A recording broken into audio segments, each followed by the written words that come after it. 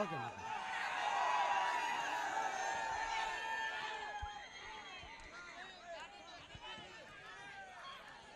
వేదిక మీద ఉన్న మా వైఎస్ కుటుంబం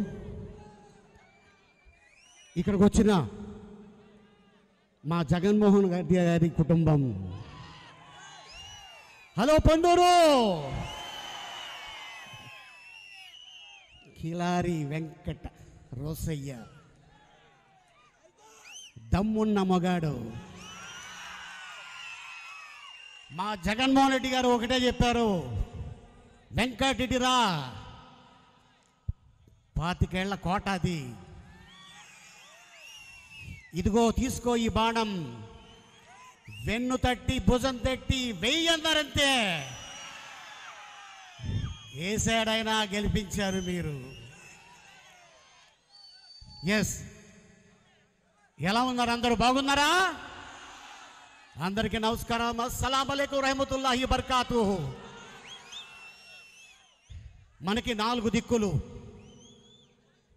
ఒకటి ఎస్టీ ఒకటి మైనార్టీ ఒకటి బీసీ ఒకటి ఎస్సీ. మరి ఈ నాలుగు దిక్కుల్ని దగ్గర చేసుకొని పాదయాత్ర చేస్తున్నప్పుడు అందరినీ హత్తుకున్నప్పుడు ఆయన కడుపు పట్టాడు. వచ్చిన ప్రతి ప్రేక్షకుడు కడుపు ఒత్తి చూశాడు. ఎస్ వీడికి ఆకలి ఉంది. వీడి ఆకలి నేను తీర్చాలి. అందుకోసం వీళ్ళ కోసం నేను ఏం చేస్తే బాగుంటుంది అని చెప్పి పాదయాత్ర అయిన తర్వాత ఎలక్షన్ ముందు మేనిఫెస్టోలో ఏదైతే వారు అనౌన్స్ చేశారో అవన్నీ మన అక్క చెల్లెలకు అన్నదమ్ములకు అందరికీ అందింది. అంతేకాకుండా పంతొమ్మిది వందల తొంభై తొమ్మిదిలో ఈ జిల్లాకి నేను వచ్చా. మా రోసయ్య గారు మావం గారు ఉమారెడ్డి వెంకటేశ్వరులు గారు. వారి యాత్రకి వారితో పాటు నేను వచ్చా. ఈ జిల్లా అంతా తిరిగా. మమ్ముండేటి వెంకట సుబ్బయ్య అన్నే బాబురావు గారు మరియా కుమారి గారు అలాగే విజయవాడ ఎల్మంచిల నాగేశ్వరరావు గారు అలాగే గుంటూరు నుంచి లాల్ జాన్ బాషాన్ గారు వాళ్ళ తమ్ముడు జియావుద్దీన్ గారు. ఇలాగ ఎంతోమంది నేను వచ్చి ఆ రోజున క్యాన్వాస్ చేసి వెళ్ళా.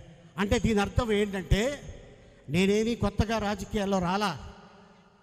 నాకు ఎన్టీ రామారావు గారు అంటే చాలా అభిమానం. ఆయన పెట్టిన పార్టీ ఆ ఉద్దేశంతో ఆ రోజున నేను వెళ్ళి కండువా కప్పుకొని దాదాపు పంతొమ్మిది సంవత్సరాలు అదే పార్టీలో నేను ఉన్నాను. కానీ ఆ పార్టీ జస్ట్ ఇది ప్రస్తుతానికి గులాబీ రేకు. దీన్ని నేను కరేపాకు అనుకుంటున్నాను. అంటే కరేపాకులాగా వాడుకొని అలా తీసేస్తా. నేను అనుకున్నా అరే ఎందుకు?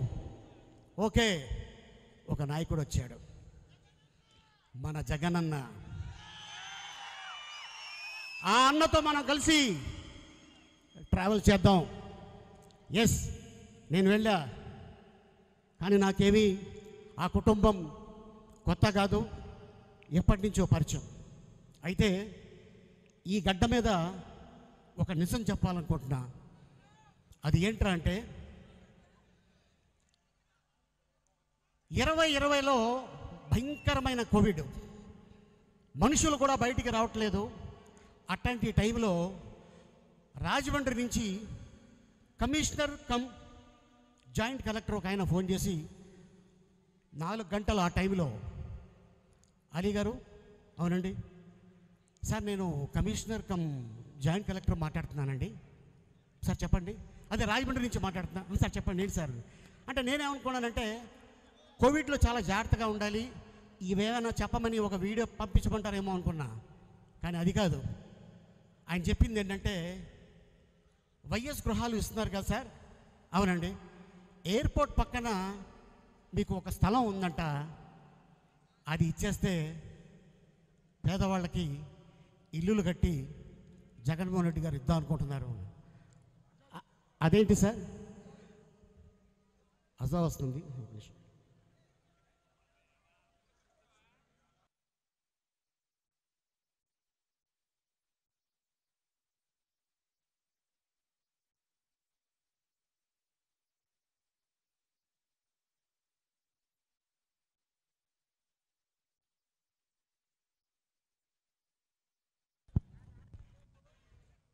ఇప్పుడు సార్ చాలామంది స్థలాలు ఉన్నాయి కదా? నా స్థలం ఎందుకు అడుగుతున్నారు అన్న? ఇది ఎక్కడంటే రాజమండ్రి నుంచి తొమ్మిది కిలోమీటర్లు ఎయిర్పోర్టు పక్కన. అయితే అక్కడ కొంతమంది రైతులు కొన్ని కండిషన్లు పెట్టారు.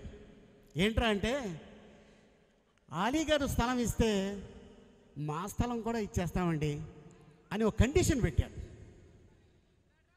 ఎంత కావాలంటే మొత్తం మీకు అన్న. సార్ సీఎం గారు మాకు యాభై ఐదు ఎకరాలు కావాలని ఆర్డర్ వేశారు. డైరెక్ట్గా రైతుతోనే మాట్లాడమన్నారు. మీరు దయచేసి నో అనొద్దు. మీరు నో అంటే వాళ్ళు కూడా వెనక్కి వెళ్ళిపోతారు. అర్థం చేసుకోండి సార్ అనగానే వెనక ముందు ఏమీ ఆలోచించకుండా గవర్నమెంట్ రేటుకే నా స్థలం ఇచ్చేసాను ఎందుకు ఇచ్చానంటే ప్రతి పేదవాడికి ఒక గూడు కావాలని కోరుకుంటాడు. మనం గెంజి తాగుతున్నామా బిర్యానీ తింటున్నామా అది ఎవ్వడు చూడ్డు. వీడికి సొంత ఇల్లు ఉంటే అది చాలు. ఆ గూడులో మనం ఉంటాం మన కుటుంబం ఉంటుంది హ్యాపీగా ఉంటాం. అదే ఆయన కోరుకున్నాడు. వాళ్ళు ఏం చెప్తున్నారంటే కడతానని చెప్పేసి మోసం చేశారు అని అంటున్నారు. మరి నేను చెప్పింది మోసమా? కాదు కదా. యాభై ఐదు ఎకరాలు ఎక్వైర్ చేసి రిజిస్ట్రేషన్ చేసిన తర్వాత వాళ్ళ అకౌంట్లో డబ్బులు పడినాయి. వచ్చిందా లేదా అని చెప్పేసి మళ్ళీ కాల్ చేసి అడిగారు. సార్ మీ డబ్బులు వచ్చింది ఆ గవర్నమెంట్ రేట్కి. థ్యాంక్ యూ సార్ నాకు కాదు ముందు ఎవరైతే నన్ను నమ్ముకొని ఇచ్చారో ఆ రైతులకు ముందు ఇస్తే బాగుంటుంది సార్ అదే నాకు ఆనందం అని చెప్పేసి నేను అన్నా. నేను చాలాసార్లు సీఎం గారిని కలిసా కానీ ఎప్పుడు కూడా నేను స్థలం ఇచ్చాను అని చెప్పలా. ఇదే మొదటిసారి. అందుకే ఈ నేల మీద చెప్పాలి. మా ముస్లిం సోదరులకి ఇల్లులు అందుతాయి ఎస్సీ సోదరులకి ఇల్లులు అందుతాయి ఎస్టీ సోదరులకి ఇల్లులు అందుతాయి బీసీ సోదరులకి ఇల్లులు అందుతాయి అయితే ఈ కార్యక్రమానికి నన్ను పిలిచి ఆ కమిషనర్ గారు చాలా థ్యాంక్స్ సార్ అని చెప్పారు. థ్యాంక్స్ కాదండి ఇది నా బాధ్యత. ఎందుకంటే ఎలాగో నేను ఇది ఇచ్చేస్తే పేదవాడికి నేను నమ్ముకునే వల్ల నాకు ఇంకా ఎక్కువ ఇస్తాడు. అని చెప్పి చెప్పడం జరిగింది. రాబోయే ఇరవై నాలుగులో ఏ విధంగా ఉండాలంటే మన అన్న రోసే అన్నని మామూలు మెజారిటీతో ఉండకూడదు. సౌండ్ సౌండ్ సౌండ్ రావాలా? ఈ సౌండ్ వస్తే ఈయన గెలిచినట్టే. ఇందాక బస్సు యాత్ర చూస్తే అది బస్సు యాత్ర లేదు అది. ఈయన ఆల్రెడీ గెలిచేసి ఇక్కడికి వచ్చేసి థ్యాంక్ యూ సో మచ్ ఏంద్రా నాయన ఈ జనం? అక్కడ చూస్తే అక్కలు అమ్మలు చెల్లెళ్ళు అత్తలు మేనత్తలు. ముఖ్యంగా చెప్పాలంటే అన్న చాలా ఫేమస్ దర్గా కాకాణి దర్గా. ఆ దర్గాకి రెండు కోట్ల రూపాయలు ఇచ్చారు. నిజంగా చాలా ఆనందం వేసింది. దానికి గోడ కట్టారు. అలాగే నెల్లూరు జిల్లాలో బారాషహీద్ దర్గా ఎంత ఫేమస్సో ఈ గుంటూరు జిల్లాలో కాకాణి అంత ఫేమస్ రాబోయే రోజుల్లో తప్పకుండా ఇక్కడ షాదీఖానా కూడా కట్టారని నేను విన్నాను. ఒకటి కట్టారు మళ్ళీ అద్భుతమైన మెజారిటీతో మీరు గెలిపిస్తే ఇంకటి కూడా కట్టబోతున్నారు. షాదీఖానా ఉర్దూఘర్ అలాగే ఈద్గాల్కి మద్రసలకి తప్పకుండా అన్నని మనం రిక్వెస్ట్ చేద్దాం. ఈ ఎమ్మెల్యే ఆ అన్నని రిక్వెస్ట్ చేస్తారు. ఇంత అద్భుతమైన అవకాశం కల్పించిన మీ అందరికీ పేరు పేరున ధన్యవాదాలు తెలుపుకుంటూ సెలవు తీసుకుంటున్నా. జై జగన్! జై జగన్! ధన్యవాదాలన్నా. ఒక షాదికాన వడ్ల మూడులో అరవై లక్షలు పెట్టి కడతం జరిగింది. ప్రారంభోత్సవం చేయడం జరిగింది. రెండోది పొన్నూరు పట్టణంలో ఎంతమంది మైనార్టీ సోదరులుంటే కనీసం దాన్ని పూర్తి చేసిన సంఘటనలు గత శాసనసభ్యుడికి లేదు. ఈరోజు మేము రేపు ఎలక్షన్స్ లోపు పొన్నూరులో షాదీఖానా కూడా పూర్తి చేస్తామని చెప్పి సభాముఖంగా మీ అందరు కూడా తెలియజేస్తా ఉన్నా. ఇదే కాదు మీరు ఇందాక చెప్పినట్టు కాకాని దర్గా రెండు కోట్ల రూపాయల అభివృద్ధి కార్యక్రమాలు. మీరు ఇచ్చిన ఏదైతే హౌస్ సైట్లు అన్నారో నిజంగా తెలుగుదేశం పార్టీ వాళ్ళు ఒక్క గజవన కొనుగోలు చేశారా వాళ్ళ హయాంలో అని అడుగుతా ఉన్నా.